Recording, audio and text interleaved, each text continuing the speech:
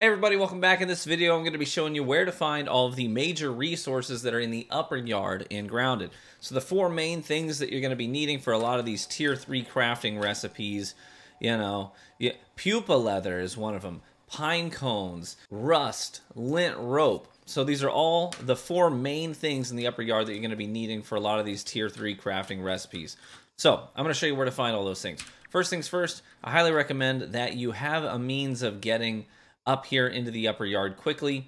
My main base is right here, obviously where most people start out, but I've got zip lines that take me straight up to the middle of the upper yard, and I've got zip lines that take me up here to my uh, little makeshift base here in the upper yard as well. I do recommend that you have a base up here because it's just going to save you a lot of time to have, you know, all of the main things that you need to make just easily accessible right here in the upper yard. So I took the time to at least just get something basic up and running, you know, and I think that's going to serve you very, very well. I chose to put my base very close to this uh, bicycle that's laying down because there are tons of orb weavers that live right underneath that back tire. And that is such an easy way to get repair glue because spider chunks you can put in your glue masher and uh, obviously, all these tier three things that you're going to be creating, they require a lot of glue to repair them while you're out and about. So that's why I chose to put my upper yard base right here for this playthrough. But let's go right down the list. We will start with pupa leather. And uh, the, there's two places where you can find this very easily. One is right underneath the deck here of the shed. So you go underneath the shed there, you're to find these pupa that are hanging down. I'll show you that. And then also up here near this stump, there's tons of pupa just kind of hanging in the, like, uh, hanging hangover parts of the map. I'll show you. It's kind of hard to describe, but I'll get up there and I'll show you where those are at too. So we'll start with pupa. And I'll try to put timestamps on this as well so that whatever it is that you're looking for, you can just click and it'll take you right to it. Alrighty, so you see this deck up here. And it's very close to my home. The only thing is that there's these ladybirds. And if you're equipped to take them out quickly, wonderful. If you're not, then you may want to avoid them. But see these little chunks that are hanging down? I've recently uh, gone through here and shot them all down and taken them, but there's going to be pupa that hang from uh, from those muddy chunks up there, and there's several of them. There's also some upgrade rocks deeper up in there, but you see there's one back there. See there's one over here and the pupa are just going to hang down from there. Okay. Now, unfortunately, like I said, I just farmed these recently, so they haven't uh, replenished yet, but they will respawn every few days. But uh, I'm going to take you over here to the other side of the upper yard, and you can see them for yourself. Okay? Okay, the next resource that we're going to be looking for is lint. We need to make lint rope. It's very important for a lot of crafting recipes. So I'm going to show you where to find it.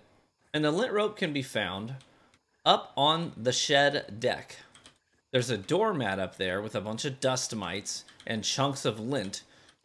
And we're to bash them up, take the lint, and get out of there. A Couple things to note up here. You do have black ants that are to spawn up here, soldier ants, and they are hostile. So you're going to want to take them out or run past them, whatever you're more comfortable with. If you're running a black ant shield, it's a good way to just to get some of these resources off of them really quickly for repair purposes. We see lots of ants up here. And there's a doormat right here. See this doormat? And you see the chunks up there, right? There's chunks on it. That's lint. That's what we want. There are other places to find it, but this is just the easiest, I think. So you just run up to it, chop it up, take the lint, and go. Now, the dust mites here, if they see you, they'll aggro on you, and they'll shoot, like, chunks of dust at you that will slow you down, take your stamina away, Whoop! See, if they're shooting it at me. So just keep moving, grab the lint and go. But yeah, this is where the lint is. Now you take this lint back to your spinner, and then you um, you just use the spinner to craft lint rope. Just like you would uh, your spider web, silk, all that stuff. But there you go, that's lint. That's the easiest place to find it. It's right next. This is, a, again, this is where I, why I put my base where I did up here. Because I have instant access to both pupa and to lint. Let's move on to rust. Rust is very important for a lot of crafting recipes at the tier 3 level. Now up here, there's a tire, and then there is a toolbox right above this field station in the upper yard. Okay, see where that is? Straight north of the middle of the koi pond. This little square right here, this little rectangle, that's a toolbox. underneath that toolbox is a lot of rusted screws. We're to break those up. We're going to collect the rust, and you're going to get a ton of rust in just one run, and I'll show you. And that's probably going to be all that you're going to need for, you know, the first things that you're crafting. But uh, again, anytime you need rust, you head over there, and you're going to walk out with a lot of it. Now, this is a pretty perilous portion of the yard. This upper right-hand corner of the map. There's a lot of things up here that are going to want to kill you.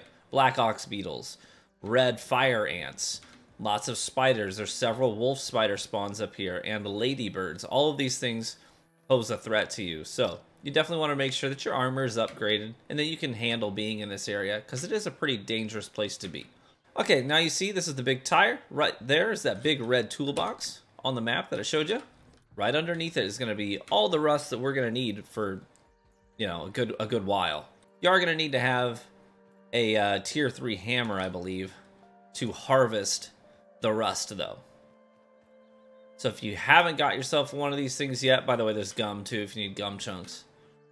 But if you haven't uh, made yourself a black ox hammer yet, then you're going to need to do that. Now, right here, there's going to be rusty screws all over the place.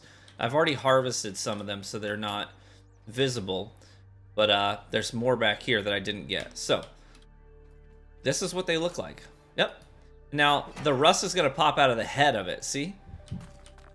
It's kind of hard to see in the uh, in the dirt. It'd be hard to spot. So you may have to look around for the rust bits that pop off. You hit it once, and right at the head, bingo, is where our rust chunks are going to fall off. There you go. Now there's screws are all over the place here, and you're gonna walk out of here with a ton of rust. So you can see we've already got rust, got lint. Now, it's convenient that we're here because the other ingredient that is common in a lot of these tier 3 recipes is pine cones. So this right here is like pine cone heaven. They're gonna be all over up here. In fact, I see one right now. See it up there? Big old pine cone. Pardon me, Ladybird. I'm not interested in a fight right now. I know you are, but I'm not. But here you go. Pine cone.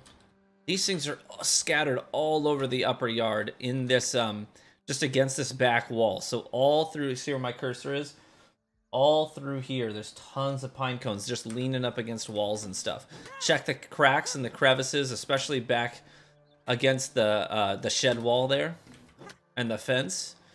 They take a lot of damage to break. There. And then you can see these bits that drop off. That's your pine cone resource. There's another one right back here. Let's go bust it up. There is no shortage of these things. They're all over the place up here. If you just know what they look like and what to look for, you'll be all set. You can wrap around behind this giant paint bucket as well, and there's more of them. Plenty of them. So I'm going to make my way over here to the stump where all the pupa are. Now this place is very dangerous. There's going to be lots of things out there that are going to want to kill us. So, like I said, the easiest pupa to get is right underneath the deck there because it's not that dangerous. But if you need more of it because you don't get a lot of pupa leather out of those pupa, hang on, Ladybird's back. By the way, there is a uh, milk molar back there in that pot while you're up here. You may as well grab it. But you see this big old stump off there in the horizon? Big old swampy area. This is where a ton of the pupa are going to spawn. And they kind of look like brown cocoons that are hanging down. Oh, there's water right there. I may as well grab that, yeah? Now note that there are tiger mosquitoes in this area, in this swampy area. You can see one right there. Taking a look. They're pretty dangerous. They can be, at least. If they gang up on you in numbers. But do you see how there's a lot of these uh, dirt overhangs like this? You know, these like that hang up over you. That's where you want to be looking at is underneath those little overhangs for pupa. I see one right now, actually. Let me get this tick out of the way. So, I see right there. That's a pupa. They look like little cocoons. Now, they don't tend to give you a lot out of one cocoon. That's why pupa leather, I think, is the most scarce resource in the upper yard. But we got two chunks of pupa hide out of that one pupa. The pupa hide you take back to the workbench. You use it to craft pupa leather, but I think it's a 5 to 1. So it's pretty steep. Pretty costly. I see some more right there. Just want to look underneath stuff. Here's two. Let's knock them down. You can also use your bow and arrow to knock them loose from high places. We got two out of that one. Two out of that one. Little ladybird there. Ladybird. Very common place to find wolf spiders. Up here they patrol. It, it probably wouldn't even be a bad idea to have your Mithridatism uh, perk active while you're cruising around up here. I know that right here is a common um, wolf spider patrol route especially. I'm gonna drop down now. But I think pupa leather's the hardest thing to come by because you really have to be looking for it. You'll start to memorize the spots where they spawn, but this place can be a bit of a maze as well. Here's another pine cone. If you're into that sort of thing. Aha, here we go. Bingo.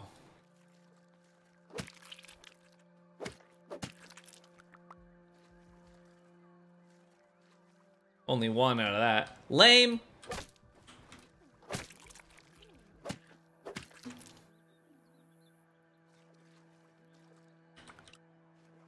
Only one out of that one, too.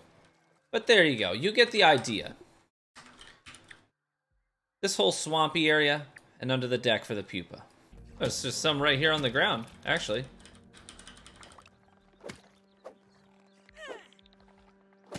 How convenient. I usually try to take some time to kill some fire ants while I'm up in this area too, because I, I like to run the uh, ah, fire ant shield. And it requires body parts for, from fire ants to repair it. This pink car, by the way, has a milk molar in it and some up, a bunch of really nice upgrade rocks in the trunk. But there you have it. Those are the four main upgrade resources in the upper yard. Your pine cones, your pupa, your lint, and your rust. So I hope you found this helpful. Hopefully now you know where to go. And sometimes it's just, they're all kind of in a semicircular arc here. If you start here with the pupa leather, and the lint, and then you just come down, you get your rust, more pupa and pine cones through here, and then just make your way back. You can knock out all of these resources in one quick trip. All in all, it would only take you 10 to 15 minutes probably of farming just to get a bunch of those resources ready to go. Here's one of my zip lines that takes me straight to the upper yard from uh, from the tree. But best of luck to you in all of your farming endeavors. Hopefully you found this helpful. And uh, look forward to catching you maybe in the next video. Bye-bye.